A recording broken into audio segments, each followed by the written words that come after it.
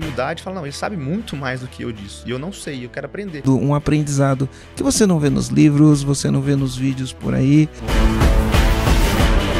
Está começando mais um podcast Empresa Autogerenciável, o podcast que vai ajudar você, que é dono de uma pequena ou média empresa, a acabar com o caos na sua empresa através de uma equipe autogerenciável. O meu nome é Aline Decker. Meu nome é Vitor Miranda. E eu sou Marcelo Germano. Show de bola! Estamos aqui nesse podcast trazendo um convidado que é bastante especial, porque não é só um convidado que vai falar muito sobre o assunto dele. Além disso, ele é um convidado que ele é um comandante. É um comandante Ele do passou EG, pela jornada aqui com a gente. Ele é um comandante, ele é médico e cofundador da Além da Medicina. E vou passar aqui a palavra para Marcelo para apresentar aqui o nosso convidado. Show de bola. É muito legal receber o Vitor aqui e entender o quão rápido a história aconteceu, né? Só que o fato de ser rápido pode dar a impressão de que foi fácil, né? E nem, nem sempre é assim, né? Não Porque é. é rápido que é, que é fácil. Então, em 2019, a empresa passou a existir. Antes disso, ela nem existia ainda. Aí ele monta a empresa, vai pro caos total, né?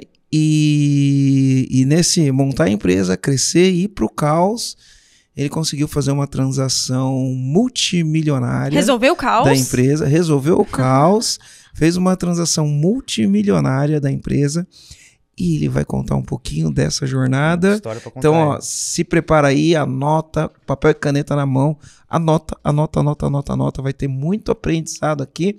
A gente vai trazer um conteúdo, um aprendizado que você não vê nos livros, você não vê nos vídeos por aí. É a experiência real de campo de batalha do Dr. Vitor. Vitor, seja muito bem-vindo. Obrigado, gente. Obrigado, Marcelo. Obrigado, Aline. Pô, vai ser um prazer compartilhar essa história aqui com, com vocês.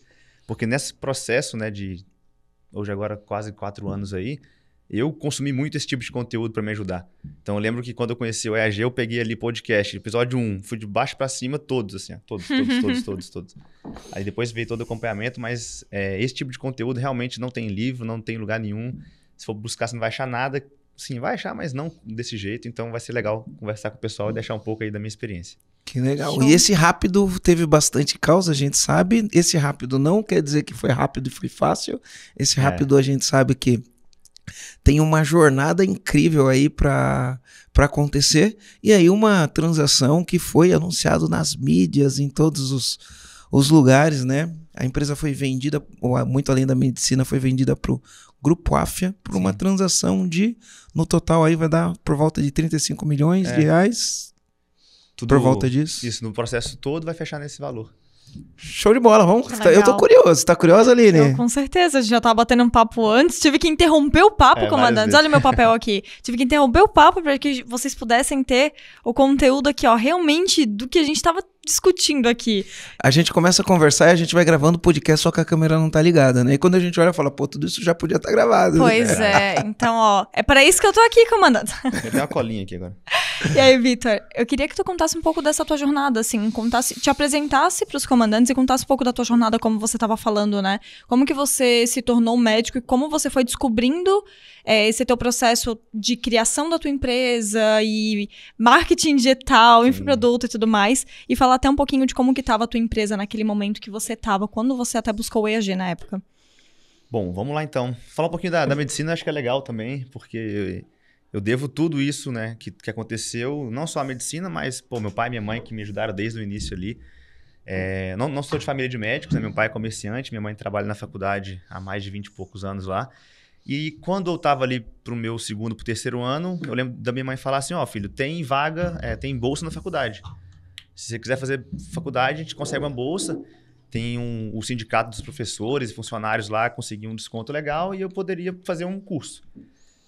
Aí ela me falou isso, eu parei, olhei, falei, até para medicina? Ela falou, é, até para medicina. Eu falei, então, então bora. Foi basicamente assim que eu escolhi ser médico. Lógico, eu me imagine, pensei assim, pô, será que vou ser um advogado? Não, não vai ficar legal de terra. Ah, você é engenheiro? Não, não gosto de, de poeira.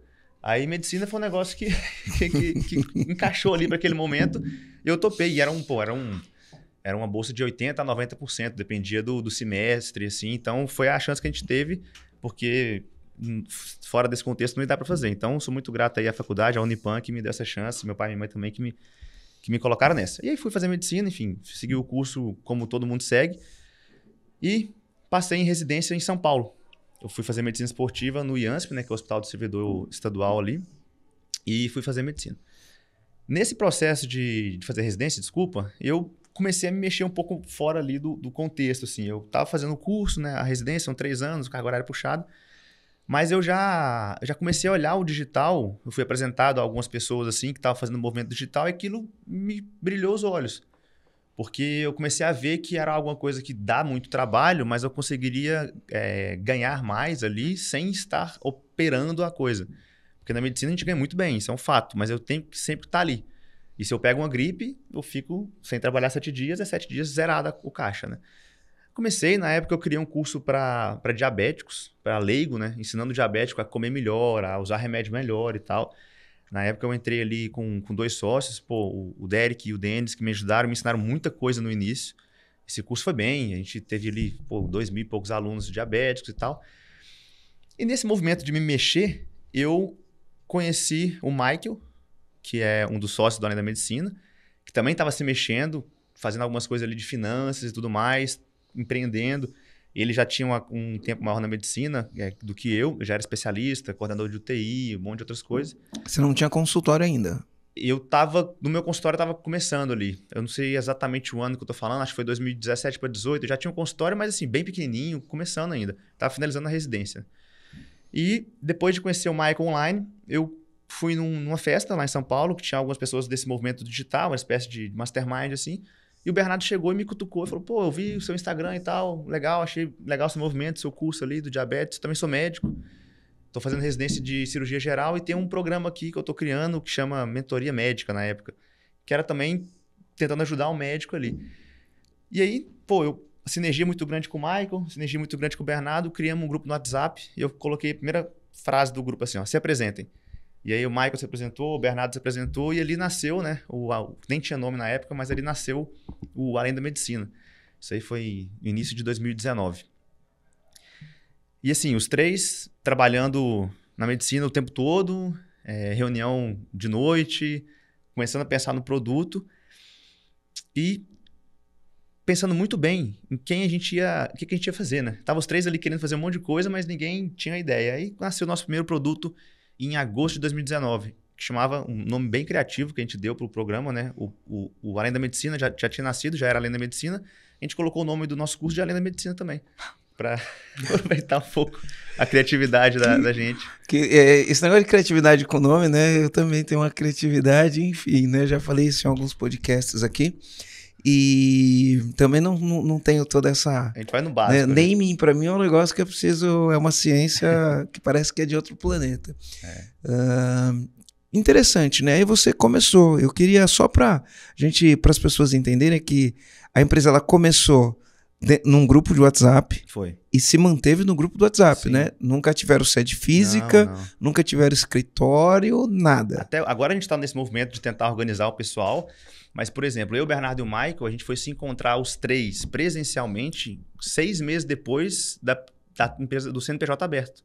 Então, eu me encontrei com o Bernardo em São Paulo, porque nós dois estávamos ali. Encontrei com o Michael em outro evento, eu não vou lembrar onde. Acho que ele passou por São Paulo também, a gente se encontrou.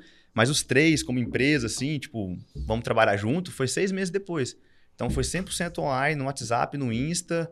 É... Sem sede física, sem, sem sede nada. física. O, pô, primeiro colaborador que chegou foi o João também. Veio por inbox de Instagram. Oi, meu nome é João, tô vendo o trabalho de vocês, sei fazer alguma coisa aqui. Falei, então vem, faz um risco. Se der certo, você continua. É o tá pegando do mundo digital, né? Né, é. Aline? O tá pegando do mundo digital? Pô, mas numa dessas funciona, né? Funciona, o João funcionou é. super bem, não, não funcionou? Sim, sim. Não, tá com a gente até hoje. Não, não. Tá né, eu boto, não, não, aí eu boto numa saia é, justa, é, vou funcionar super bem dele. O João teve um probleminha. não, o João funcionou, tá aí até com a gente até hoje, tá doido. Eu falo do tá pegando porque eu falo assim, né? O, o, o, a pessoa monta uma empresa, né? Ela precisa de funcionário. Aí quando ela monta uma empresa, vem alguém e fala, ó, oh, vi que você montou uma empresa, não sei o quê, tá pegando lá na tua empresa? Aí eu tenho um sobrinho assim, uma sobrinha assado. Tem alguma coisa lá para ele fazer? Você fala, ih, eu tô precisando. E aí você vai lá e pega a pessoa, Sim. tá pegando, isso tá pegando, né? Então no mundo, um no, no mundo físico mas... isso é muito comum, né? No mundo tempo. digital também é muito comum, é. né? A tecnologia não, não eliminou o tá pegando, né? Não, o nosso RH era fenomenal, né? tanto que a gente não tinha um RH até agora. Era Hum. tudo indicação e a gente tinha um modelo ali de meio que coloca o cara para testar, se ele entregar a tarefa, ele ganha essa chance e vai entrando. Mas foi, foi tudo assim, foi muito, muito digital mesmo a coisa. É, A gente não seguiu nenhuma regra de, de criar empresa, nenhum modelo, nada. A gente foi fazendo do jeito que dava, colocava a data ali para fazer é, a, a missão, né? Então, ah, o curso vai começar tal dia. Aí a gente vinha da data do curso para trás, ia resolvendo tudo. Passamos muito perrengue, enfim, custou todos os meus cabelos da cabeça, tanto que eu fiz até o, o implante agora recentemente, pra ver se, se conserta. Você vê as fotos do início assim, é um cara de topete. Depois, cara, esse cara tá cansado já. Quatro anos, né? Quatro É, anos. é. Foi, foi, foi legal, assim, um crescimento muito grande. E a gente tá muito feliz de ter conseguido entregar esse resultado, sabe? Acho que o mais importante que fica é isso, de saber que tá sendo Que- bem feito. Que legal, que legal. E olha só, nessa jornada toda, né? Você teve que unir capacidades. Então você tinha uma experiência tua, que nem era tão grande assim, mas você tinha uma vivência, e essa vivência te trouxe uma dor e um aprendizado. Sim. Aí você juntou uma outra competência, é aqui que surge a inovação, né? Uma outra competência que você desenvolveu. Né? Muito provavelmente, quando você começou a entender o que era marketing digital, você conheceu alguma metodologia, algum, alguma fórmula que funciona e Sim. você aplicou no teu negócio. Você juntou os dois. Falou, "Pô, eu tinha esse problema, vou ajudar as pessoas, resolvi desse jeito, vou ajudar as pessoas a resolver esse problema, vou usar essa metodologia para fazer isso. Enquanto isso, você ainda tinha a tua vida profissional normal, Sim, né? Você sim. continuava com a tua vida profissional, você não, não largou tudo e foi Não, pro, pro não. negócio. A- Agora, no final de 2021, que eu não dava mais para conciliar. Aí a, a parte médica começou a ser muito prejudicada pela, por causa do crescimento da empresa. Porque você tem que se dedicar para o seu paciente, tem que dar tempo, tem que ter espaço, e não dava. Nem para mim eu estava tendo tempo direito. Então foi aí que eu tomei a decisão de realmente parar de atender e focar só na empresa. É um combinado que eu tenho aí de dois anos de fazer isso, mas eu acho que não, não tem mais volta. É, tem alguns pacientes que eu continuo atendendo ainda, mas, enfim, coisa de 10 pessoas que eu tenho um carinho grande assim, eu acompanho eles. Mas nem eu, nem o Bernardo, nem o Michael, a gente deixou de, de trabalhar nesse processo de empreendimento. O Michael continua é, trabalhando ainda nas, nas UTIs e tudo. O Bernardo é residente, ele está no último ano da residência, então ele ainda tem uma carga horária de pelo menos umas 60 horas por semana, junto com a gente, é, na, na residência. Então foi aos trancos e barrancos mesmo, com reunião à noite, e, enfim, a hora que dava, sábado, domingo, feriado, não teve, não teve erro. Mas Você fez o que a gente falou, né? É joga o chapéu e corre vai atrás, buscar. né? É, essa é uma regra que a gente tem. Joga o chapéu e vai buscar. Então vai você jogou. longe. Ó, isso é um comando, hein? Pega o comando, comandante. Né? Ele jogou o chapéu, né, do outro lado do muro e saiu correndo para pegar o chapéu do outro lado lá. É. E eu acho isso, essa é uma prática, ah, apesar da gente, a gente faz muito aqui no EAG, né, de jogar o chapéu e sair correndo. Eu acho que ela é uma prática que ela é muito interessante. Não sei se ficou claro pra todo mundo, né? Porque geralmente as pessoas elas querem ter todas as respostas antes de começar a caminhar. E se você não joga o chapéu, porque o chapéu faz a, a- eu vou usar um termo aqui que é, ah, vamos lá, vamos usar o termo que é colocar, que todo mundo usa aqui, água bater na bunda. Sim, sim. Né, a- o chapéu faz, quando você joga o chapéu e você não tem todas as respostas, é quando faz isso, né? Porque você vai correr atrás de ter todas as respostas antes que o chapéu caia no chão. E eu acho que esse é um, eu acho que essa é uma prática que é muito interessante de o empresário estar atento, né? Porque cara, lança a meta e aí sai correndo pra, pra buscar e fazer o que precisa. Porque Mas geralmente corre, mas É, que correr, claro. Porque geralmente fala assim: "Ai, mas eu não tenho dinheiro agora". Cara, joga o chapéu. Quando você jogar, você vai ter que dar um jeito de Sim. conseguir o dinheiro, de fazer as coisas darem certo, né? É, porque a gente assume aquele compromisso, né? Ó, pessoal, fechou? Vamos colocar o curso no ar no dia tal? Sim. Se você não entrega, aí o único prejudicado de tudo ali é você mesmo, que mentiu pra você mesmo. Então, se você não consegue ter esse compromisso nem com você, Uhum. é difícil ter com os outros, né? Então, a gente sempre fazia isso, ó. É isso que a gente tem de conhecimento, a aula vai acontecer tal dia, a gente vai fazer do jeito que der. Entregando, a entrega era sempre muito boa, a estrutura por detrás da entrega era um caos total. Mas assim, a entrega sempre foi muito boa, a gente focava muito no produto ali. E tem muito aprendizado, né? Então, por exemplo, o primeiro curso que a gente foi lançar foi seguindo o, o Érico Rocha, né? Forma de lançamento. É, a gente, o EAG existe É. por causa do Pô, fórmula não de lançamento. falar, é. Aprendemos muito com ele, mas assim, eu não conseguia operacionalizar aquilo. Então, o que, que a gente fez? A gente contratou uma empresa que entendia disso. E aí, a primeira... é são Aí aquele- deu tudo certo, né? Deu Você falou, tudo pô, certo, tem um é. fórmula de lançamento, o Érico ensina, esse cara aprendeu, É ele vai colocar na minha empresa, só apertar o botão e vai embora. Entreguei na mão do cara e deu certo. Vendemos. Mas daquele jeito, assim, não dará mais certo. Sabe, é, foi uma vez só e não, não dá para crescer desse modelo. Foi um acordo que não era legal, era uma porcentagem alta para eles em cima do bruto, coisa que a gente só aprendeu depois. Ah, tantos por cento do bruto, é legal. Aí no final o líquido, porra, o bruto inteiro foi embora aqui, tipo, o lucro inteiro foi embora. É porque mu mu mu muitas pessoas às vezes vão fazer parceria, né? E aí o cara fala: Não, eu vou cobrar para você uma porcentagem, ó, você fica com 70%, eu fico com 30%, né? E aí você olha e fala: Pô, vou ficar com a maior parte, né? Aí a pessoa fica com 30%, mas os 30% que ele fica é limpo. É limpo. E o seu Né? teve o risco E, o- todo. e o teu mais. você teve o seu 100%, menos os 30%, menos o que você gastou em tudo para fazer. Sim. Depois você paga todos os impostos. cara, e aí, aí quando você olha na última linha, você fala: faltou dinheiro, porque você acha que, ah, eu tô com a maior parte, tá comigo. E é uma conta que, Na- enfim. e na época, assim, eu, eu tava, tava na residência ainda, não tinha, não tinha grana, então acho que foram 15 mil que a gente investiu cada um, assim. Falou, quanto que vocês têm aí pra colocar, pra queimar e nunca mais ver esse dinheiro?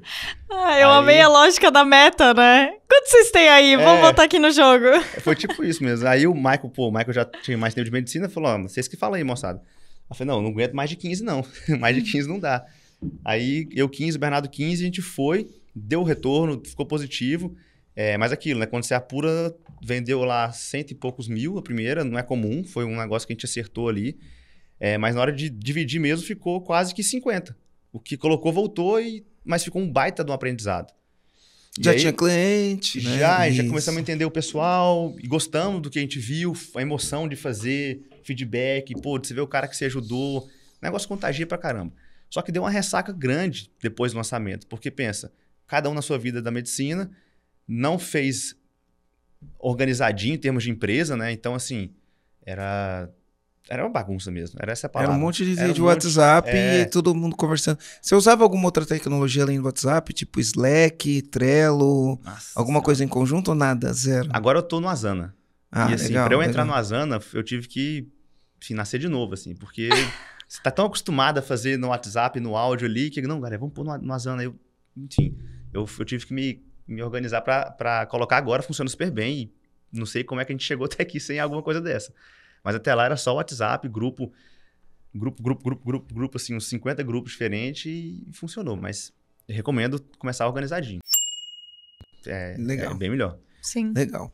E aí vocês romperam essa sociedade e essa sociedade ou essa parceria, não era uma sociedade, É. era uma parceria, né? Então, terminou, pô, agradecemos o pessoal, mas a gente viu que não daria, assim, porque era uma questão de alinhamento. A gente, por ser médico, tinha algumas questões de copy que a gente não queria usar, é, promessa, uma coisa. E a gente tentou alinhar, mas viu que não ia ter muito, muita sinergia. E falou, galera, valeu, foi bom, não foi ruim de jeito nenhum, mas a gente não quer mais seguir. Aí, beleza, aí você volta pra casa e fala, e então, e agora? E o próximo lançamento? Sabe o que você falou uma coisa muito importante aqui, Vitor? Que a gente começa a aprender marketing, né? E aí as pessoas começam a falar de copywriting e de gatilhos mentais, e não sei o quê. E Persuasão. aí, persuasão. E aí começa a usar gatilho mental para tudo. Mas o objetivo daquilo ali não é trazer um cliente que você vai entregar um produto de qualidade pro cliente. Não que não, não tenha isso. Mas às vezes o único objetivo é vender. Sim. Aí eu tive vários conflitos quando eu comecei, porque o cara escrevia isso e eu falava, cara, mas isso aqui não é verdade. Aí o cara falava, mas isso vende. Eu falava, não, mas não, é quero assim eu, assim, eu não é. vou vender desse jeito. Foi bem Não, isso. mas se você não falar isso, você não, vai- não, não, não, não vai vender. tanto. Sim. Falei, não, mas se for pra falar isso, eu prefiro não vender. Foi, foi né? essa conversa Então, esse conflito, né, a, a questão da gente alinhar valores, né? Então, o empresário tá ali, ele quer aumentar a venda. Aí ele chega alguém e fala, olha, eu em- domino digital, ah, entendo de estratégia, entendo de copywriting, e aí ele simplesmente fala, vamos lá. E aí chega lá, o cara faz um monte de promessas, usa um monte de gatilho. Por exemplo, ah, o produto custa 5. Aí você fala que você tem que ancorar o preço, né? Uhum. O produto custa 5. Aí, para ancorar o preço, você fala assim: não, você tem que falar que custa 100, você corta isso, corta isso, corta isso, aí de 100 por 5 parece que ficou barato, e aí todo mundo compra. Mas isso não é verdade. Ou escassez, né? Isso. Só, só tem cinco vagas gente quando. usa. Não, mas é a escassez que não é Aí verdadeira, no né? do WhatsApp, Exato, tem só tem- 220 pessoas Exato. Ah, só tem cinco vagas, mas aí, na verdade, é ilimitado, mas você fica falando só Ó, tem cinco vou te dar um vagas. exemplo que, que fez a gente pensar muito, assim. é, um do- uma das vertentes do produto era a finança para médico. E aí escreveram assim, ó, tem uma conta bancária de dar inveja nos seus colegas. Aí a gente falou, cara, não, não é isso que eu quero vender pro meu, pro meu cliente. Eu não quero que ele saia daí mostrando que ele é o cara do dinheiro. Eu quero que ele tenha tempo pra família. Eu quero que ele tenha tempo com o filho. Eu quero que ele tenha saúde legal, que ele durma em casa. Isso que é a riqueza. O dinheiro na conta não é pra mostrar. Eu quero que ele mostre que ele não se perdeu no caminho. Não, mas aí não vende porque fica abstrato. Então não vende, cara. Eu não quero trazer um cara. Porque esse cliente que vem com essa promessa, ele é chato pra caramba. Você não vai querer ele com você. Isso a gente já percebeu. Então tem que fazer promessa certinha pro público certinho. Ah, não vai trazer mil pessoas, mas vai trazer 250 muito boas, que vão curtir seu produto, vai ter resultado, e vão trazer outras 250 com o mesmo perfil, que não vai dar dor de cabeça, que vai manter o NPS alto, enfim, vai montando um monte de coisa na sequência. É, é a mesma coisa, por exemplo, né? De você monta um restaurante vegetariano, não vou nem falar vegano, vou falar vegetariano, né? E, e aí o cara fala, ó, meu, para você vender aqui, cara, você tem que aumentar aí teu portfólio, você tem que atrair o cliente assim, assado, não sei o quê. E aí você fala, restaurante vegetariano, mas nós também temos carne, camarão e, e polvo, sei lá, né? Não não faz o menor sentido. Não, mas se você fizer isso, você vende. Né? Você você vai trazer o cliente errado. É. O, o, o cliente que é o vegetariano, ele vai embora, Sim. né? Vai, e, o- vai sentir e- a vontade. e, e- e o cliente que é o, o, o, Carnívoro. o, o- o carnívoro, ele vai olhar e falar, "Ah, mas eu não quero num restaurante vegetariano. É. E aí, enfim, né? As pessoas Sim. têm que tomar cuidado com os gatilhos, que não é, é vender certo pro público certo e do jeito Sim. certo, né? E, aí- Exato. e nessa hora que a gente agradeceu o pessoal e seguiu o solo, voltamos os três ali para o grupo do WhatsApp e falou: e aí? E o próximo lançamento? E aí foi legal porque a gente meio que se dividiu. Aí a gente trouxe o primeiro colaborador, porque a gente mapeou o que, que a gente precisava fazer e o que, que a gente não conseguiria fazer de jeito nenhum. Então, por exemplo, para fazer o lançamento, você tem que gravar as aulas. Eu consigo gravar aula. Escrever as aulas, eu consigo escrever aula. Criar um site. Cara, eu consigo criar um site ruim, mas eu vou conseguir criar um site ruim. É, Anúncio. Não, eu não, não vou saber fazer isso. Então, tra... o primeiro cara que veio foi o João, foi para fazer anúncio pra gente. Então, eu lembro que quem escrevia os e-mails eram nós três, quem gravava os vídeos eram os três, quem fazia o site eram os três, quem editava os vídeos era um dos três, quem fazia o design era um dos três. Então, a gente meio que fez tudo o que tinha que fazer e pôs a segunda turma no ar.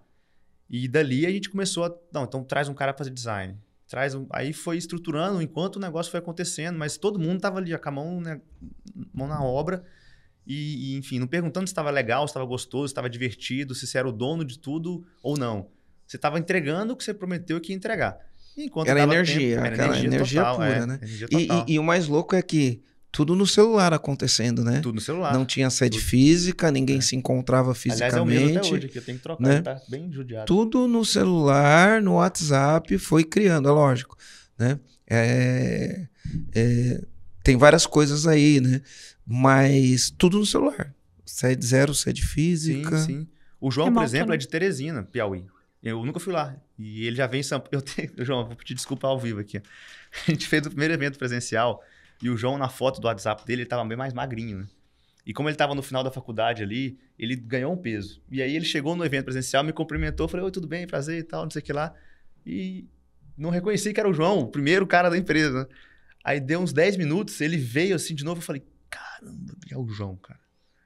É o João que eu não conhecia ao vivo, só conhecia no online e agora fiz essa gafe aqui. Então, João, já te pedi desculpa várias vezes, mas essa é uma história muito boa. Era Aline. tão online que a gente não sabia nem reconhecer o. o- Olha, olha que impressionante, né? Uma empresa que em quatro anos, né, teve toda essa trajetória, foi feita com pessoas que foi, foi criada dessa maneira, né? No WhatsApp, pessoas que não se encontravam e quando se, se, se encontrasse na rua, Não reconhecia. não, não Não, reconheceria. reconheceu. né? Sim, eu lembro que quando a gente, a primeira pessoa que a gente fez uma integração aqui no EAG 100% remota foi a Angel.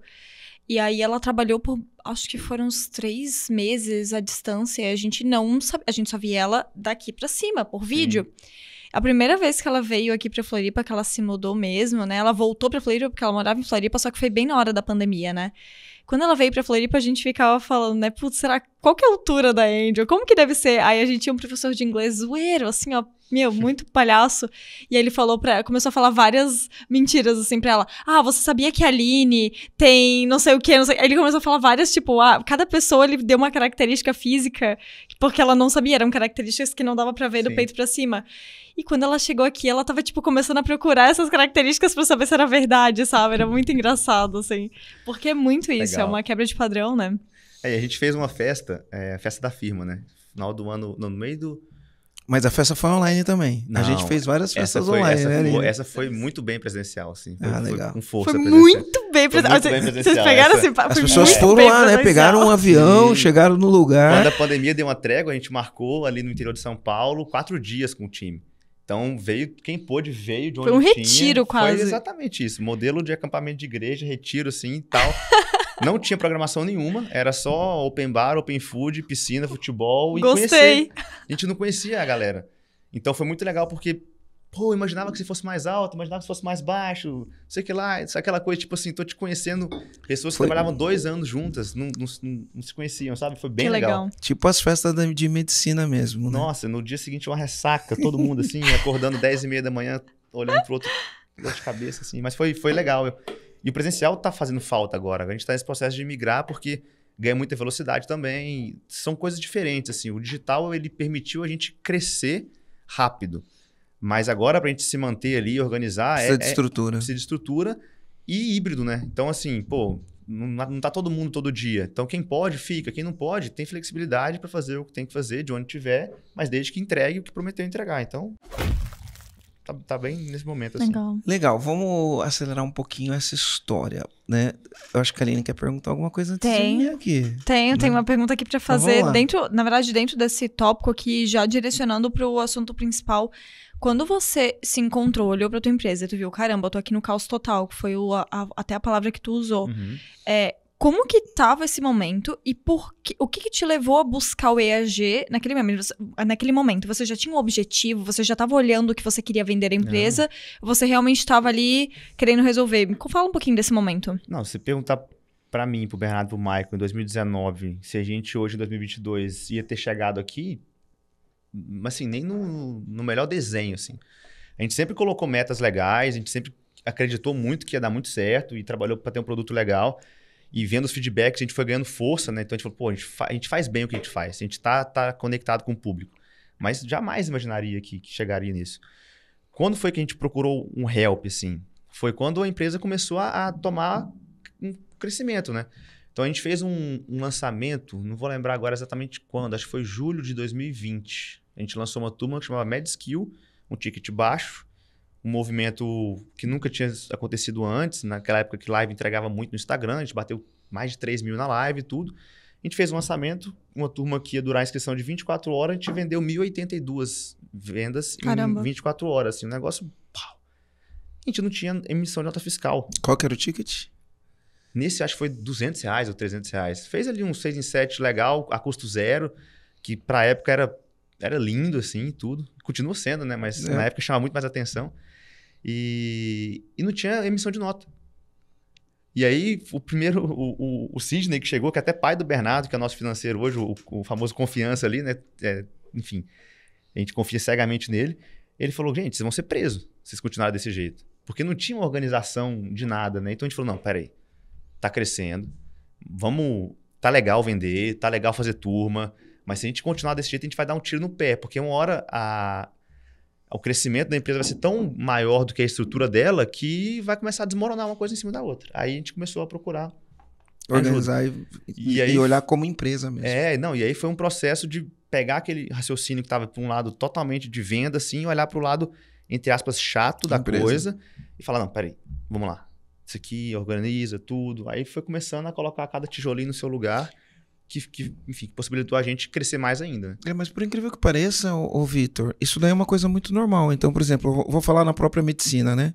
O médico, ele, ele cria um próprio emprego, né? Uhum. E ele cria uma, uma situação onde ele vai poder exercer a medicina. Mas Sim. ele não cria uma empresa, Não. né? E aí ele deixa esses detalhes de lado. Isso serve para um arquiteto, isso serve para um advogado, para um engenheiro, para um vendedor. O vendedor ele vende, vende, vende e fala: ah, vou montar uma empresa, vou vender tal coisa.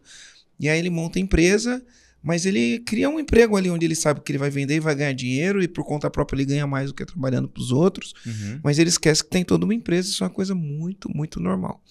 Aí você falou: agora eu preciso começar a organizar isso. Sim. Aí era funcionário que não tinha é, contrato, eram as coisas que era feita tudo no fio É de bigode. É, fio do bigode total.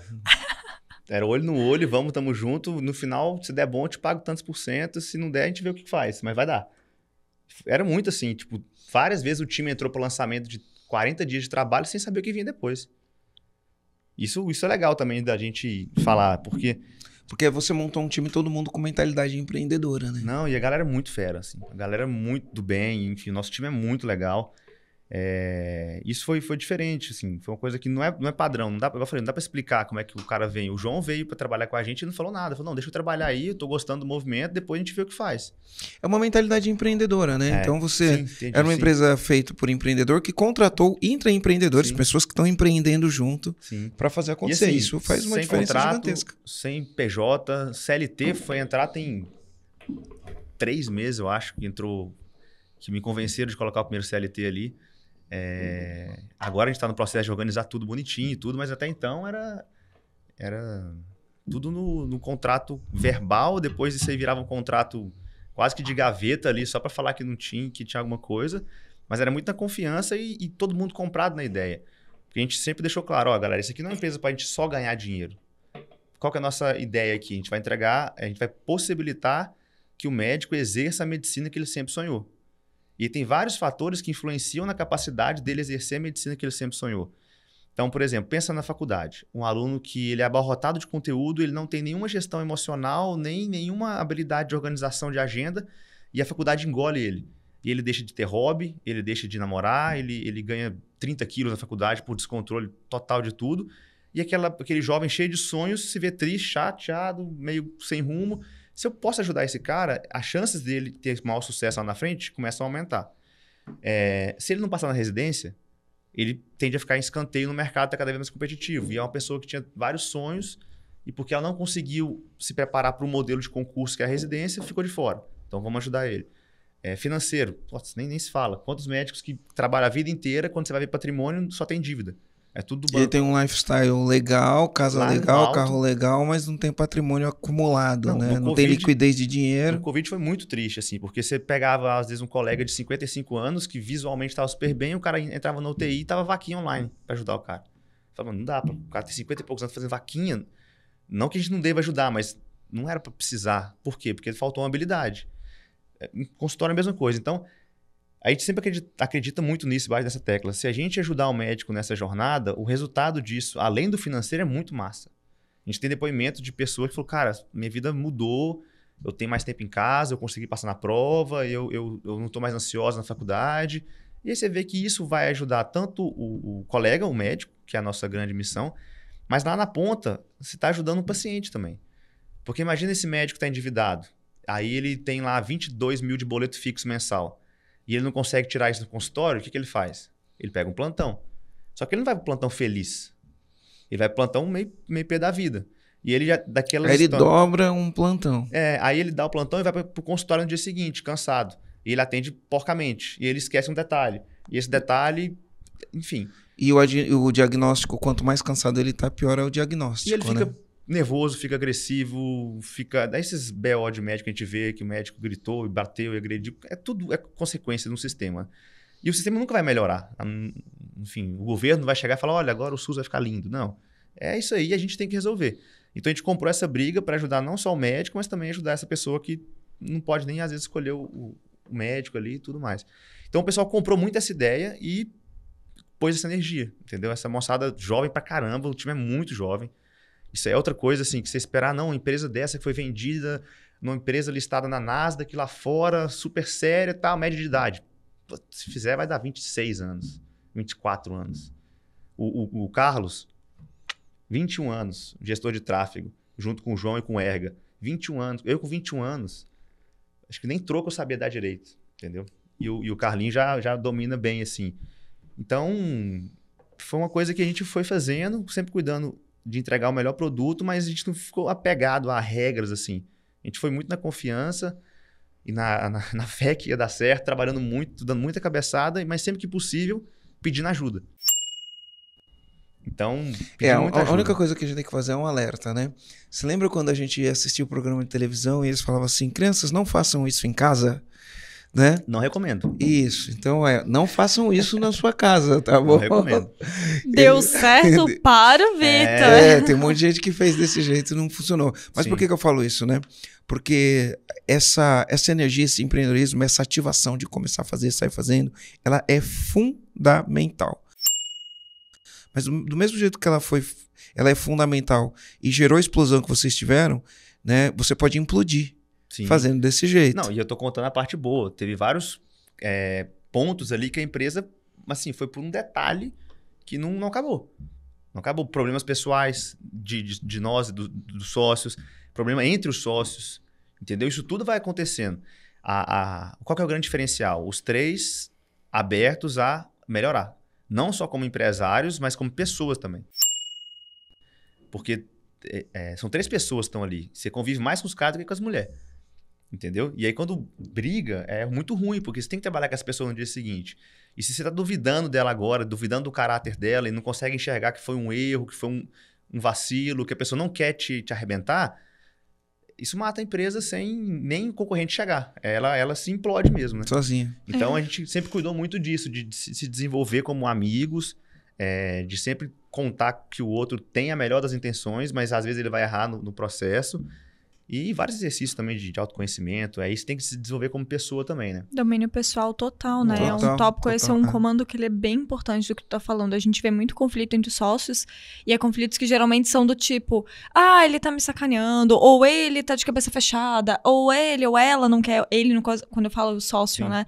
Ele não quer evoluir, porque, e, e sempre botando a culpa no outro, né? E quando traz esse ponto de vista de tipo, meu, tá todo mundo aqui na melhor das intenções e, e jogando junto pra fazer isso acontecer, é bem importante É. mesmo. Não, e recentemente eu tomei uma catracada, assim, em geral. Porque eu sou um cara muito, puxo muito, né? Muita energia, assim. E às vezes a minha comunicação, ela não é da melhor forma que a pessoa quer receber. E eu tô trabalhado isso há muito tempo. Pô, quando eu comecei a namorar com a Mariana, que é minha esposa, nossa primeira briga foi por comunicação. E desde então, eu sei que é meu ponto fraco e eu tô trabalhando nisso. É, Então, eu tô muito aberto a receber esse feedback. Então, pô, o Ruben me deu uma chamada, o pessoal me deu uma chamada e eu não fico puto porque, ah, os caras estão aqui querendo me derrubar. Não, pô, peraí. O cara me falou, eu confio 100% no que ele me falou. Se ele me falou, é porque realmente está acontecendo. Então, baixa a bola, engole ali, você nunca vai gostar de, de receber esse feedback, mas é isso que vai fazer a gente crescer, né? Legal. E procurar ajuda. Eu falo procurar ajuda é, é- é formação. Então, o EAG entrou numa fase que a gente estava aprendendo a dar os primeiros passos na- da empresa. Então, eu poderia pegar um livro e começar a estudar? Até tentei, comprei vários.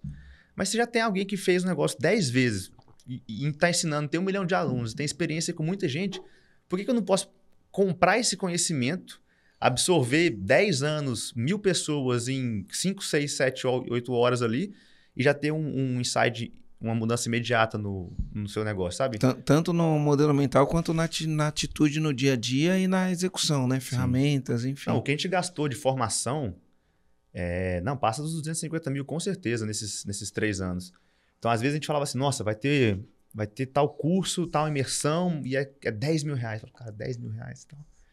Mas vamos lá. Aí você vai e volta com um insight, volta com uma ideia. E isso aí já muda tudo, entendeu? Então, eu falo isso, a gente tem que confiar no, no que os outros também. Tem que filtrar, lógico, né? Na internet tem de tudo, mas quando você filtra pelos alunos resultado e o cara tá te propondo, a gente tem que ter essa humildade e falar, não, ele sabe muito mais do que eu disso. E eu não sei, eu quero aprender. Vai, pega, assiste até o final, né? Entrega tudo que tem ali e cresce.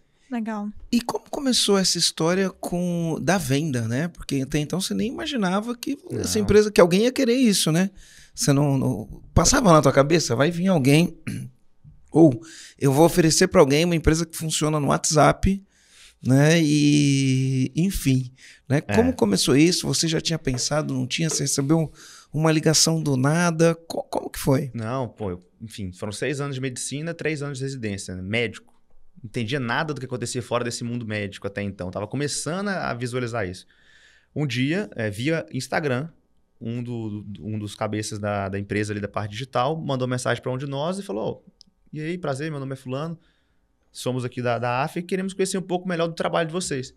Aí foi aquela explosão né, no grupo do WhatsApp: caramba, os caras da AF aqui, nem conhecia a AF na época. A fé é um gigantesco. É, gigantesco. Eu sou fãzaço hoje do, do, do projeto. É, chamaram, chamou a atenção dos caras, tal, que massa, parabéns e tudo. E aí começou um, um papo de de negociação, de compra. E aí um olhou pro outro e falou assim: cara, se os caras olharem para dentro da empresa e ver o que tem aqui, acabou, ninguém compra isso aqui. Não, não dava, assim, não, não, não tinha o que comprar. O que, que você tá comprando? Essa aproximação começou quando? Foi um ano e oito meses de ponta a ponta, assim. Então, saiu agora fevereiro, né? Então, sei começou lá, então. julho de 2020. Abril de 2019. De 2020. 2020. 2020. É, acho que foi julho de 2020, foi a primeira Por aí. conversa, assim. Legal. Teve uma parte que conversou e eles estavam adquirindo muita gente. E aí, pô, a gente pititim perto do que tava entrando, aí deu uma esfriada, depois de uns seis meses voltou e daí ele foi até o final. Legal. Então, quando eles deram esse primeiro alô, a gente falou, temos que organizar. Aí a gente acelerou muito, tentou organizar tudo, assim, tudo, mas era, era tentar organizar em dois meses o que dois anos não, não tinha sido feito, né? Mas depois dessa primeira aproximação, aí esfriou, mas a gente cresceu muito, hum, só desse alô aí que a gente tomou, e a gente olhou para dentro e organizou muita coisa. Começamos a ganhar escala, então a gente começou a aprender a vender, no bom sentido, muito bem. É, a gente começou a ampliar canais de venda, até o benchmark que eu fiz com, com a EAG com o João ajudou muito, porque a gente tinha um modelo de lançamento. E aí só lançava. E aquele negócio, se o próximo lançamento der errado, você tem mais três meses para tentar dar certo de novo. E se não der certo, a empresa deixou de existir. É, e aí chegando funcionário, tinha um custo fixo aumentando. Na época era assim, era 20 mil de custo fixo, a gente achava que era um absurdo. é, Ai, legal porque- saudade. porque quando a gente começou, isso aí por mês era muito dinheiro, né? Mas enfim. E a gente começou a abrir canais de venda. A gente falou, pô, vamos vender perpétuo. Que é um modelo que a gente hoje, nossa, tá indo muito bem também, assim, fez sentido. Mas vamos fazer um comercial ativo. Aí eu falei, não, eu não vou ligar pro cara. Vou ligar pro médico. Ó, tô falando um palavrão, né? Sem problema. É, tô- é que eu tô tentando controlar os palavrões. Eu entendo, porque eu, É. eu vivo isso todo Eu- santo eu ia dia quando falar, eu tô no podcast. às vezes, às, às vezes tem uns que saem que Não, esse sai do não coração. era pra sair. E tem uns que tem que sair, sabe? É, esse, esse saiu de boa. Aí a gente começou a, a Perpétuo. Nossa, foi muito bom, assim. Foi um janeiro que a gente abriu e, ele trouxe um resultado, acho que de mais de 200 mil no mês, assim. A primeira coisa, eu falei, gente, tá todo mundo querendo comprar. Opa, tá todo mundo querendo comprar o tempo todo, a gente só vende de 3 em 3 meses, né? Vamos virar essa chavinha. Aí a gente contratou a EG por comercial, né? Fe- a gente fez todo o processo e eu, quando tava ali, eu, eu fui entendendo, eu achei interessante pra caramba. Falei, cara, olha que massa. Filtrou e tudo mais e tal. E foi uma compra super leve, assim, ó. Não, tudo bem, eu tô dentro. Quanto que é? Foi, foi quase isso. E aí eu falei, precisamos de fazer isso. E aí tinha um, um colaborador nosso, olha como é que é as coisas, que trabalhava numa rede de, de inglês aí famosa, que trabalhava com comercial ativo, que entrou num processo de estágio que a gente fez, e o cara super comercial, Pedrão, salve Pedrão, e ele falou assim, deixa eu ligar, deixa eu ligar, deixa eu fazer, eu já fiz isso aqui muito bem e tal, e a gente não vendia. Eu falei, não, ligar, cara. Aí ele insistiu, insistiu, insistiu, eu falei, então tá bom, tá aqui ó, 80 leads. Vai lá, se consagra, né? Aí ele mandou mensagem para 80, conseguiu falar com 20, vendeu 16. Aí eu falei, nossa senhora, o cara vendeu 16 de de 20? Para o que você está fazendo, vamos organizar um script para você vender um produto mais caro, que esse era 300 reais. Aí ele foi vender uma mentoria, que era um ticket de 3 mil na época. E aí começou todo o processo, né? Que eu vi, vi do João e tudo. E hoje a gente tem o comercial ali, são cinco Você faz pessoas. script. Você É, tem pre-sale e closer ou não? não, é uma pessoa só É ainda. uma só. É, mas tá, tá chegando o momento de fazer isso. Mas o volume de leads que a gente tá trabalhando não tá legal para fazer. Mas assim, virou. O, o que a gente fazia em lançamento, a gente faz em venda de comercial. Todo, Todo mês. santo dia. E o lançamento cresce ainda. A gente achava que uma coisa ia competir com a outra, né? É porque em alguns momentos, né, tem coisas que são fundamentais em alguns momentos, mas na evolução dos negócios as coisas vão conviver muito bem, né? Porque eu me lembro que quando começou o digital lá atrás, tinha cara que era só perpétuo, tinha cara que era só lançamento, e aí era uma. Tinha gente que falava que é melhor fazer só Sim. lançamento, tinha gente falava que era melhor fazer só complexo, e hoje as pessoas Só entendem perpétuo. que tem é só o perpétuo. É, a gente fala que é igual E- futebol, isso. né? Não tem gol E- feio. Feio é não fazer gol. e aí a gente junta os dois, mas existe um desafio em unir as duas coisas, né? Mas eu acho que a gente foi um dos primeiros, assim, do, desse mundo digital de lançamentos a unir os dois, tanto que a gente serviu para benchmarking aqui no EAG para muitas É. das empresas, né? Porque a gente foi um dos primeiros a se arriscar com isso, né? Que foi, acho que desde 2019, até antes, a gente Não, já antes- vendia, bem antes a gente já, vendia. já vendia junto. Porque no é. físico é, É. comum isso, né? No digital não era. E eu acho que foi o primeiro que eu vi mesmo fazendo foi, foi vocês aqui. É, a gente vende Sim. o mesmo produto no lançamento, é o mesmo que a gente vende no. E às vezes, o- hoje, físico. a gente. Pô, o lançamento vende pra caramba ainda. É a nossa maior força de venda. mas ele cria um, um, uma audiência muito grande, ele cria uma curva de conhecimento do produto muito grande. E às vezes, por um motivo ou outro, o cara não conseguiu acompanhar, não viu o e-mail, estava na semana corrida. Se abordar ele ali depois, ele está macinho para entrar. A bola está quicando, é, né? E aí começou a, a, vender, vender, vender. E aí traz outro desafio, que é, pô, olha o tanto de entrega que a gente está vendendo. Será que a gente tem time para isso? Aí entra suporte jurídico, contábil, é, mentor, monitor. E a empresa vai crescendo. E aí vocês uhum. chegaram a quantas pessoas? 60? 68 ou 7. Agora eu tô, com, tô na dúvida, mas é, esse é o número que a gente tem hoje e tem vaga aberta e estamos chamando. E, e, e 60 pessoas, logo, logo. Tudo, tudo remoto. Tudo remoto. Aí o AFIA chegou. Uhum. O AFIA chegou, começou a conversar. E aí começou as negociações. Conta um pouquinho como que foi isso. Quando que, que apertou a negociação?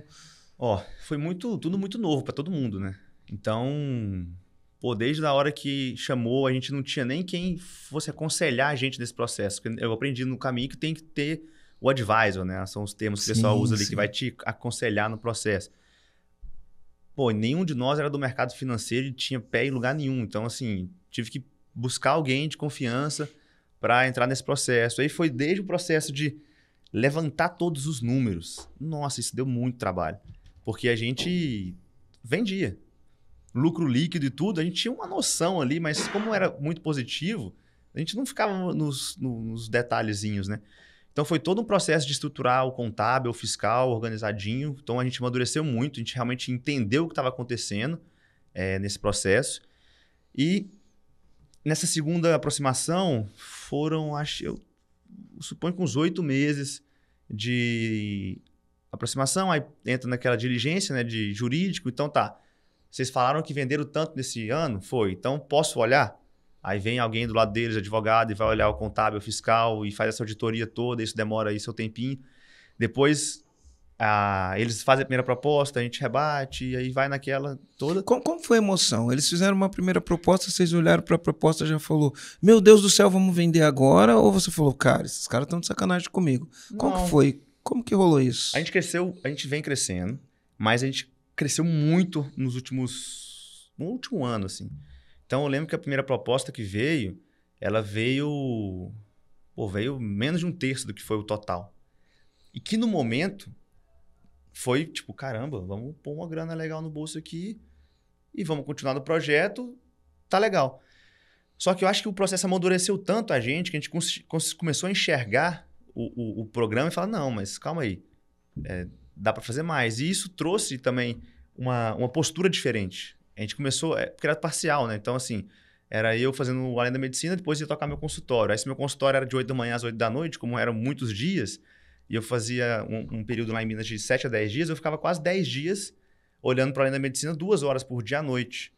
Ou de manhã, ou na hora do almoço, ou entre um consulta e outro, respondia alguém no WhatsApp. Então, toda essa aproximação, esses números e entender isso foi chamando a atenção da gente mesmo. A gente falou, pô, tem muita coisa aqui. E a gente começou a ter resultado melhor. E aí, como você vai vendendo mais, o valor vai, vai, vai, vai subindo. E como foi demorando um pouco, porque é muitas aquisições que eles faziam, seis meses, a empresa deu um salto. E aí gente falou, não, por esse valor aqui não faz mais sentido. Aí eles reorganizaram e chegaram no, no valor que foi o final. Eu brinco muito com o Bernardo e com o Michael, porque quando você me pegasse há 10 anos e falasse, ó, oh, Vitor, esse valor aqui na sua mão vendeu empresa. Eu ia, sei lá, sair correndo, gritando na rua de felicidade. Mas quando chegou o número, a gente recebeu isso com muito mais responsabilidade do que do que emoção, entendeu? Porque a gente estava entendendo que esse dinheiro que vem, ele não é não foi sorte, não foi algo que tipo, não foi uma surpresa. Não, foi construído. E junto com essa construção tem uma grande responsabilidade de entrega. Então, ao mesmo tempo que a gente ficava, pô, que orgulho de fazer isso, mas é, nossa, olha só a responsabilidade que a gente está entrando. Então, foi um mix de emoções assim, a fichinha demora um tempo para cair, o Pix cai, a fichinha demora para cair depois. Mas é muito mais fazer um checkpoint na vida pessoal, é, organizar algumas questões pessoais que tem ali e falar aí, moçada, vamos lá que agora tem muito mais para fazer, sabe? Que legal. E aí na, na, transação, uma parte você entrou dinheiro agora, outra parte Sim. Vai num período que a gente chama de earnout, que é um, a, a hora da saída, vamos falar assim, né? O quanto que você ganha na hora da saída. É, porque falar que vende e falar que vai vender é fácil. Entregar que é difícil. Então, é, isso está na internet, né? Todo mundo pode olhar.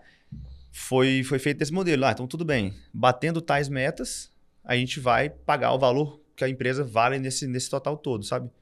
Então, são metas que, que tem ali um período geralmente anual, depende do modelo que cada empresa assina, mas à medida que você vai entrando e entregando, mais dinheiro vai sendo liberado para a pessoa física. Né? E foi uma venda de 100%. Então, a gente vendeu 100% da empresa para eles, só que a gente continua administrando a empresa por um período de três anos, e depois que esses três anos terminarem, a gente senta e conversa e vê para que lado que, que vai, sabe? Mas foi uma coisa que fez muita. muita é, foi muito importante para a gente, porque a gente não vendeu a empresa para um grupo, pegou dinheiro e a ideia é sair daqui três anos.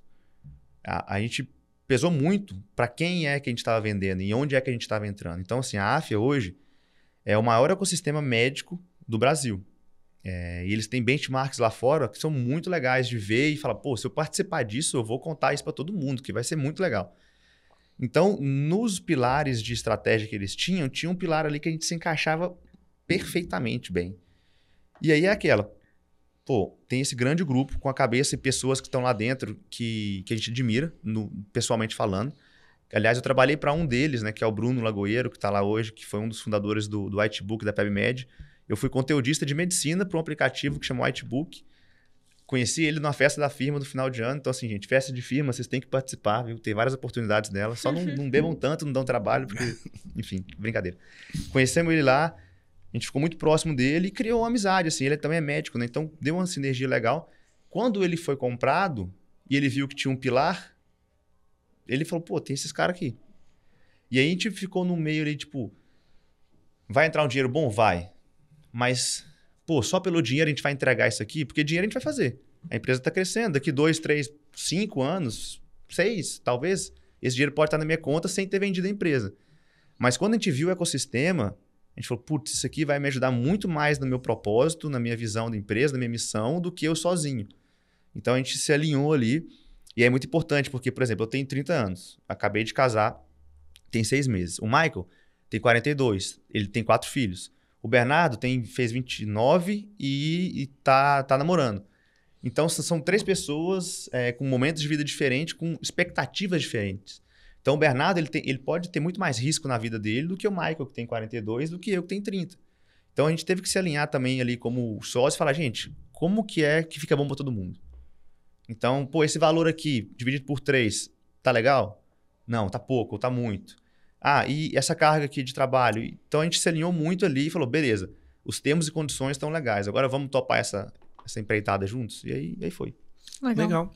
E aí vocês viraram agora, hoje vocês são funcionários do, da empresa nova, mas são funcionários com autonomia. Sim, com autonomia sim, de, sim. de dono, vamos dizer assim. Isso foi uma coisa que a gente fez questão de conferir. Porque, assim, meu maior medo era vender, chegar lá, ia ter um chefe é, que não entende do que eu faço e começar a dar as regras do jeito dele e, puf, me podar. Eu falei, não, a gente só entra se a gente puder, lógico, dentro do, das questões que a AFA tem também de cultura e, e, de... Não vou também ir contra o que eles fazem, mas, assim, tá muito bem alinhado. E a gente conversou com outros empreendedores que foram adquiridos nos últimos anos e falou, e aí, gente, como é que tá? Vocês estão conseguindo manter o que vocês tinham de propósito, ou podou e tudo? Não, tá, tá super é. legal pode vir que vocês vão ter espaço aqui dentro. E o que a gente viu quando a gente entrou é que a gente achava que ia ter algumas sinergias, né? E aí, as sinergias que a gente achou que existia, elas são 10 vezes maior do que a gente imaginava. E até trava um pouco a cabeça, porque é muita opção. E aí você tem que parar, focar e falar, não, então esse ano eu vou pegar só essa aqui, depois essa, e aí vai. Que legal. Eu, eu quero saber mais, assim, em relação a, a qual o teu papel hoje dentro da empresa, que, que você está pensando em fazer depois que sair, mas antes eu queria fazer um, um alerta aqui para quem está assistindo a gente, né? É, a gente vê uma história de, de sucesso, só que a gente tem que aproveitar também para falar cuidado, né? Cuidado. Porque o que, que aconteceu no caso do, da, além, da além da medicina? Eles venderam uma empresa para um. Eles venderam a empresa para um grupo que dá autonomia para eles fazerem o que, o que eles querem. Eu tenho um amigo que vendeu a empresa e o que aconteceu? A empresa que.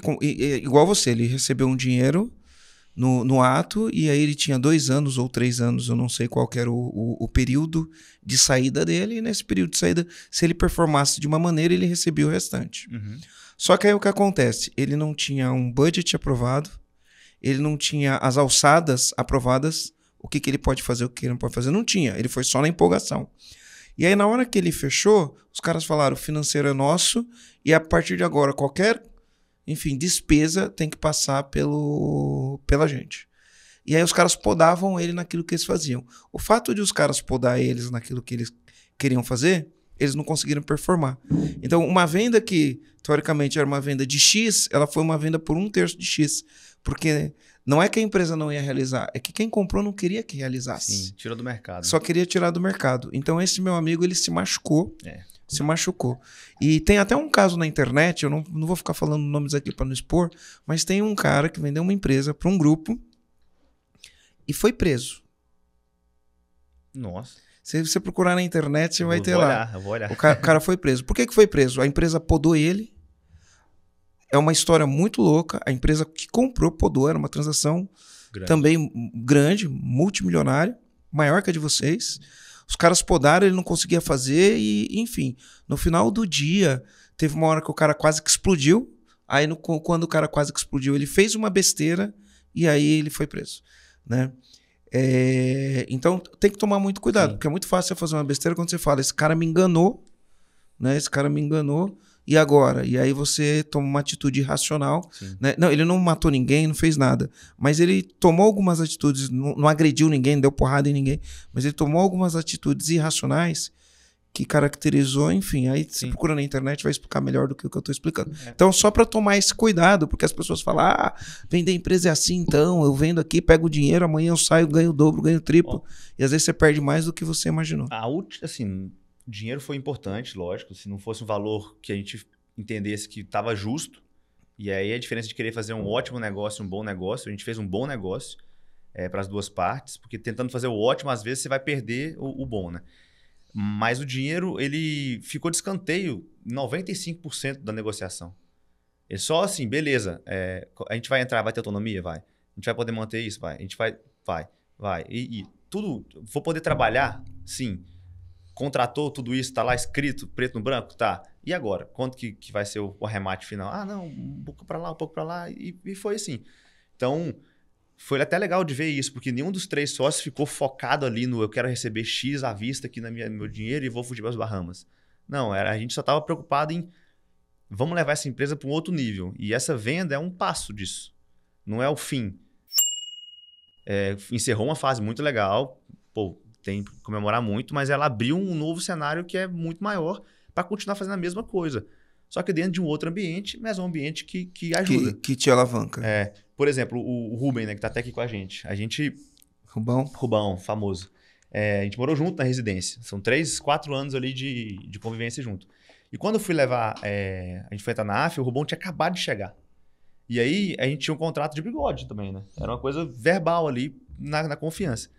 E eu falei com os caras: olha, se não tiver autonomia para fazer esse tipo de contratação, porque não é um cara que você contrata um salário fixo e ele vai. Não, tem que ter um plano para fazer o negócio acontecer. É, eu não vou, a gente não vai crescer, porque é difícil de trazer essas peças assim, né? Aí o, o pessoal falou: não, se você conseguir me mostrar o racional disso, vocês têm autonomia dentro do, do budget e tudo mais para crescer. Então isso foi uma prova de que a gente teria esse espaço. Que não seria algo que eles iam começar a podar. Não, a gente já tem muito médico aqui dentro, pega algum nosso aqui e tenta fazer. Não, não é, não é, não é o médico, cara. É, é confiança de 4, 5 anos que não tem preço. É saber que o cara tá do meu lado ali, que a gente vai junto até o final, independente disso. Então foram várias confirmações que a gente teve de que ia ser legal. Lógico, nem sempre é um conto de fadas, a gente está na lua de mel ainda. Sei que nesses três anos muita coisa vai acontecer, mas é importante se certificarem disso, né? Quando chegar esse momento para vocês aí, de não é só o dinheiro. E a gente falou dinheiro umas várias vezes aqui, né? Então, lá quando a gente começou, quando o pessoal da equipe lá queria vender a qualquer custo, a gente não aceitou. E aquele, aquele mesmo princípio a gente trouxe para cá, só que numa uma proporção muito maior. Então é de manter forte essa base, porque vamos tentar é, provar ela o tempo todo aí nessa trajetória. Que legal. E dentro desse processo todo que tu tá contando, o que, que foi mais desafiador pra vocês? Teve algum momento que você só, tipo, que foi muito desafiador pra se organizar, pra sair do meio do caos? Qual foi esse momento? Pra se preparar pra venda também? Tiveram vários, né? Eu acho que, assim, os mais desafiadores foram os que envolveram questões pessoais. Então, assim, dos três sócios, né? Porque o trabalho, ele é desafiador e tudo mais. Mas pra gente, nesse modelo remoto, 100% é, flexível, sem horas, sem... Desse jeito que foi, é, quando a pessoa não estava super bem, era tudo muito frágil, né? Então a gente teve alguns momentos ali que a gente teve que se alinhar bastante entre os três sócios e reafirmar tudo que a gente tinha no começo. Porque muita coisa muda, né? Vai, vai mudando. Mas os grandes desafios foram quando é, eu tive problema, quando o Michael teve problema, quando o Bernardo teve problema, e aí os sócios, é, até se aprender, a gente até aprendeu a se ajudar. Porque o Michael, por exemplo, teve um problema, a primeira vez que a gente teve um problema foi o Michael que teve. E nesse momento eu não ajudei muito o Michael. Porque eu estava vivendo a minha vida ali e era meu jeito de perceber as coisas. O Bernardo ajudou um pouco mais. E aí depois eu tive um momento com o Bernardo que eu fui reclamar pro Michael. E quando eu fui reclamar pro Michael, o Michael falou: Cara, mas lembra quando aconteceu comigo assim? E eu me vi por outro ângulo, eu falei, cara, te fiz muito mal naquela época, né? E aí eu fui pedir desculpa para ele. No que eu pedi desculpa para ele, eu vi que eu também. Então, assim, quando a gente vai se alinhando e dando suporte, eu acho que isso é um grande desafio para fazer a empresa crescer. Porque você pode ler os livros, fazer os cursos e tudo mais, mas, cara, se chegar num lugar que você não confia em quem está ali fazendo uma coisa que você não está vendo o que ele está fazendo, está 100% na mão dele, você está cego, e você tem alguma dúvida de que será que ele está fazendo isso pro lado dele ou pro lado nosso, vai, vai minando a força da empresa. Uhum. E para puxar a empresa igual a gente está puxando nesse mercado, é, crescendo rápido assim, você precisa de uma energia muito canalizada. E esse tipo de coisa mina, pelo menos a minha energia mina pra caramba. Então, o grande desafio que eu tenho é me manter emocionalmente muito bem conectado com todo mundo. E eu sou um cara que, que eu me chateio muito fácil, assim, eu fico meio dodói com a galera de vez em quando. é. E às vezes, quando isso acontece, eu, eu perco um pouco desse drive. E aí, para mim, isso é um grande desafio. Mas outro desafio que a gente teve foi quando a empresa começou a tomar muita, muito tempo e conciliar trabalho. E aí, assim, o que, que eu vou abrir mão para conseguir dar um pouquinho mais de atenção? E aí entra a família. Então, é, pô, eu tava, tava noivo nessa época ainda. Não sei se estava casado, não sei. Eu tava nesse processo. E morando em São Paulo. E aí eu tinha uma clínica em Minas. E aí a Mariana passou na residência em Itapira. Aí são três cidades. E aí você pega um ônibus, viaja. E, e, então, conciliar essa agenda também é, é, desafiador. E você tem que aprender a dizer não. Então, eu lembro de quando eu comecei a empreender, eu tinha umas cinco, seis frentes, assim. Eu escrevia para aplicativo, eu fazia, eu vendia milhas, eu fazia consultório, isso e tudo. Eu tive que aprender a falar, não, isso aqui não, não faz mais sentido. Isso aqui não faz mais sentido, isso aqui faz. E aí eu fui, fui, fui canalizando até Hoje, ficar, sei lá, 95% além da medicina e 5% medicina e, vai seguindo, mas... É, o, o, empreendedor ele tende a fazer muito isso, né? Ficar dando tiro para tudo quanto é lado e aí não chega em lugar nenhum, né? É. E aí você tirar o excesso e se manter ali só no, no fundamental faz uma diferença muito grande. É. Eu acho que, que é legal também falar um desafio onde que, que eu consegui dizer não para algumas coisas e sim para além da medicina foi quando a gente começou a tirar Prolabore. Então a gente ficou um tempão sem tirar Prolabore, assim, acho que quase um ano sem tirar alguma coisa da empresa. Porque a gente já tinha outros trabalhos e isso já bancava. Mas chegou um momento que deu, deu lucro, foi bom, pagou as contas, olhou pro caixa e falou, pô, tem um caixa legal aqui, vamos dar uma vamos rateadinha. É. É. E aí foi, sei lá, acho que foi 60 mil, assim, a primeira coisa que veio depois de um ano de trabalho. É, que foi a primeira certeza, assim, olha, isso aqui confia que, que vai estar tá materializando em, em, dinheiro. Aí chegou um momento que a gente estava se dedicando, e aí foi quando a gente falou: não, então todo mundo vai ter um Prolabore mensal aqui para conseguir se dedicar. Aí foi onde eu fui abrindo mão de outras coisas, sabe? Então acho que. Foi equilibrando esses pratinhos. É, isso eu falar isso. Tem que equilibrar esse pratinho do emoção e da razão. Porque, ah, eu vou largar tudo agora e fazer minha empresa acontecer. Mas você não tem uma, um, uma garantia, uma garantia daqui três meses não deu certo, você volta chorando, né? Então, fazer, programar isso, né? planilhar isso direitinho para fazer isso, para não criar um novo problema, eu acho que foi, foi fundamental também. E foi um Prolabore, na época acho que era 10 mil, uma coisa assim. Depois de quase dois anos de empresa. E assim, 10 mil é dinheiro, mas para um médico que está acabando de sair da residência, onde você vê todo mundo fazendo 30 ou mais, você assumir 10 e ficar nos 10 por mês, você também tem que, você tem que parar de olhar para o lado. Porque você olha pro lado, tá lá seu colega, o Michael Você que fez brinca, né? renúncia, né? É, tá lá seu colega de BM, tá lá seu colega em Paris, tá lá seu colega na Casona, todo mundo de dublê ali de rico. O Michael que fala isso, né? Os dublê de rico. E você fala ali, veio 10 mil e tal, e eu aqui apostando, perdendo uma fase de muito crescimento na carreira. Mas tem que ter- tem que estar bem focado, porque senão você olha pro lado e fala, ah, tá ruim, e aí você acaba. Tem um custo de oportunidade, a gente Sim. chama. é. Deu certo, foi bom. Eu sempre falava, ah, qual que é o- a pior das hipóteses? É o além da medicina dar errado e eu volto a ser médico igual eu tava antes de começar ele, que não era ruim. Então, teve esse lado também. Enquanto vocês vão pensando num comando que vocês querem passar pro comandante, eu já vou pedir aqui pros comandantes que estão ouvindo o podcast aqui pelo YouTube para comentarem qual comando vocês estão pegando deste podcast aqui que a gente tá falando com o Vitor. Qual que é o comando? Bota aqui o comentário que a gente quer saber o que, tá quero acontecendo. Eu também quero. Marcelo, que comando você pegou desse episódio que a gente conversou tanto? Legal, eu acho que esse episódio aqui ele consolidou alguns comandos que eu já tinha, enfim, pegos ao longo da, da jornada, né? Mas eu acho que o grande com- comando que fica aqui consolidado é muitas vezes a gente está focado no nosso produto, que é o produto que a gente vende no dia a dia, que é o curso, o, o, o produto físico, enfim, não importa o que é, e a gente esquece que a gente tem um outro produto. Né? Então, o produto que a gente vende é o produto que a gente vende para o cliente. E a nossa empresa também é um produto.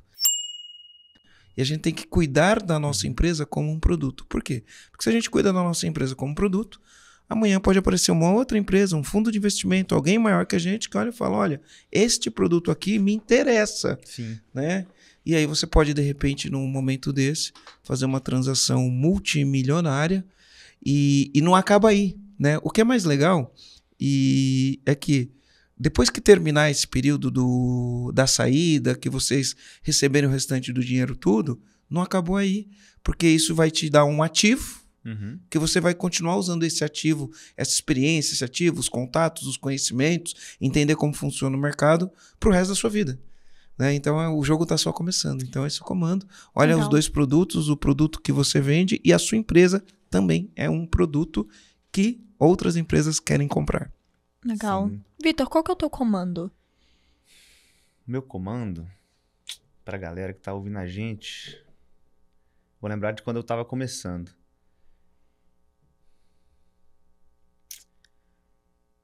Ó, eu, eu pensaria muito em falar pro pessoal que tá em casa o seguinte: é, vão surgir várias oportunidades.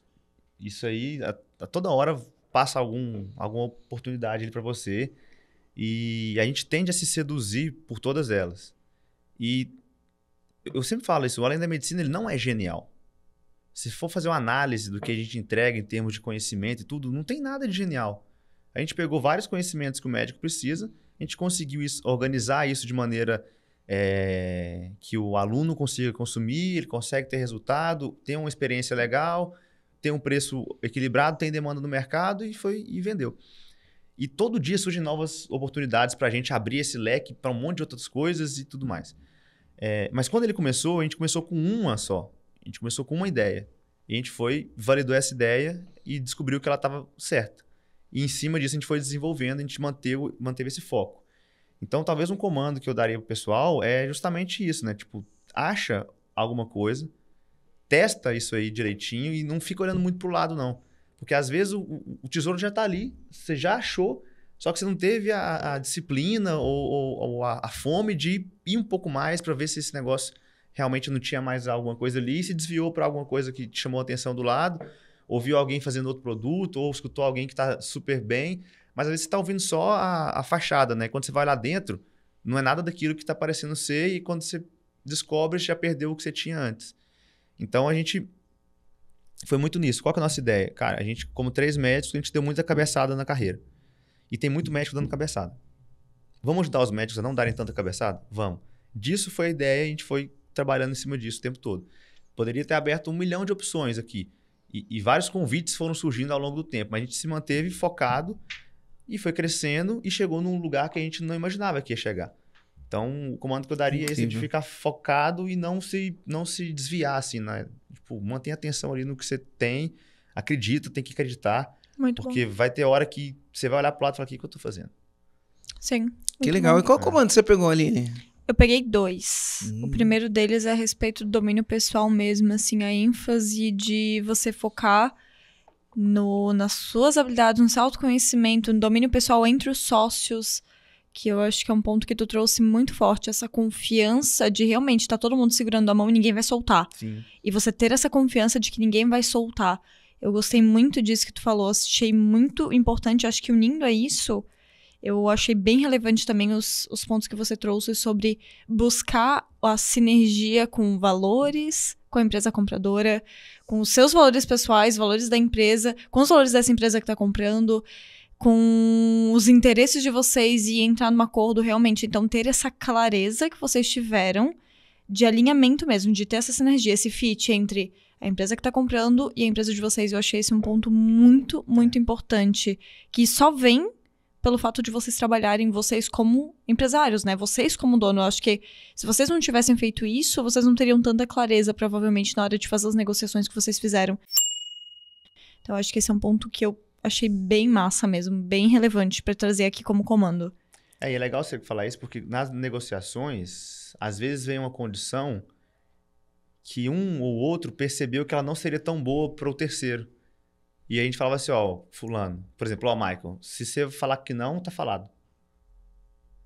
E aí ter essa, essa cumplicidade entre É. os sócios, Exato. né? É importante essa E cumplicidade. de entender que, por exemplo, pro, pro Bernardo, por exemplo, que o risco dele poderia ser maior, fala, cara, é, esse valor aí, você topa? Porque tem- era diferente tudo, e fala, não, topo. E beleza. É, poderia ter sido um pouco melhor aqui ou ali, para mim ou pro outro, sim, mas a gente foi meio que abrindo mão disso, porque senão às vezes você faz um bom negócio e perde um grande amigo, né? Uhum. E esse amigo vai ser o cara que vai trabalhar com você ali, e já que perdeu essa amizade, daqui seis meses não tem essa energia, já não entrega o que tem que entregar, ninguém bate E meta aí na saída não acontece. e vira uma bola Que de neve. Exato, Então- exatamente. Então é isso, né, E, Aline? Vitor, como que os comandantes que estão te que estão ouvindo aqui a gente podem fazer para te encontrar? Qual que é o melhor meio para te encontrar? Instagram, LinkedIn, qual que é o melhor lugar? LinkedIn. LinkedIn eu fui atualizar o meu tem uma semana, assim. O pessoal foi me adicionar depois que saiu a venda, né? Tava lá assim, acadêmico de medicina. Olha o teu LinkedIn, por isso que não serviu de nada, e eu vim te perguntar aqui. Tô nada lá, assim, fundador da liga de... Tá, só tá É, isso é, mesmo. o LinkedIn eu tô trabalhando ele, eu troquei a foto já. É, Já é uma evolução. É, tem, a gente tem, tem vários Instagrams hoje, né, que o Além da Medicina tem. O principal deles é além.da.medicina, Uhum. Que ali que quem tem algum produto educacional, talvez é um, é um benchmark legal de ver como é que entrega conteúdo. Porque a gente entrega um conteúdo pro médico sem cara de ser médico. A gente nunca foi chato no Instagram. E todo, todo conteúdo médico é chato. Mas o nosso é mais legal. O meu pessoal é, é DR, Victor Miranda. Então, esse é o meu pessoal. E tem um, um que eu também estou bem ativo, que é o meu consultório particular, que é meu ponto consultório particular, que é pro, pro médico especialista ali se desenvolvendo no consultório. Legal. Show de Que bola. legal, show de bola. Então é isso, né, Aline? É isso. Então, além dos comandantes comentarem aqui com o comando que vocês pegaram, eu vou pedir pra vocês se inscreverem aqui no canal, porque tem muita gente que não se inscreveu. E, ó, eu vou fazer um convite que faz um tempinho até que eu não faço aqui no, no podcast. A gente trouxe aqui um comandante. Que dentro da jornada dele, uma das coisas que fez, como ele trouxe, que fez a diferença né, na jornada, foi ter feito, foi ter buscado ajuda externa de alguém que já trilhou esse caminho. Então eu quero fazer um convite. Se você está nesse processo, não necessariamente para vender a sua empresa, mas às vezes você está buscando ajuda externa realmente porque a empresa está um caos e você não sabe o que fazer para resolver isso. Então aqui embaixo tem um link para você clicar e tem nesse dentro desse link tem uma página, né, um site onde tem todas as informações sobre o programa EAG, sobre o EAG também. E se você entender que faz sentido para você, primeiro tem que ser um dono ou uma dona de empresa, e tem que ter mais de cinco funcionários. Sem isso não tem como você construir uma equipe autogerenciável. Então se você entender que faz sentido é só você preencher aqui os dados que você vai ter que colocar dentro dessa página. E a nossa equipe aqui, autogerenciável, vai estar prontíssima para te atender, assim como a gente te atendeu num processo bem leve que foi pro Vitor, Tô como ele falou, aqui né? de preencher o formulário, de receber o É isso e-mail, aí, é. WhatsApp, confirmação, pré-venda, venda. É isso. Então a É um gente tem um processo, processo sim. aqui que sempre funciona da mesma maneira. E tem muitos comandantes que às vezes querem pular o processo. Não, mas eu já decidi, eu quero pular. E a gente ensina pra você a ter processos. Então aqui a gente segue todos os processos. E qual que é o processo? Clica no link aqui embaixo. Aí a gente, aí você vai preencher esse formulário, nossa equipe vai entrar em contato com você, você vai receber alguns e-mails, mensagem no WhatsApp, tudo mais pra gente poder avançar. É isso então. É isso, é Marcelo. Isso, é isso aí, Aline. É isso aí. Então, show de bola. Show de bola, então. Valeu, Aline. Valeu, Vitor. Obrigada Valeu. demais, tá, Fui. Vitor, por ter aceitado o Eu que convite. agradeço o convite, foi fera. Foi legal compartilhar isso aqui. Show. Beijo. Tchau, gente. Valeu.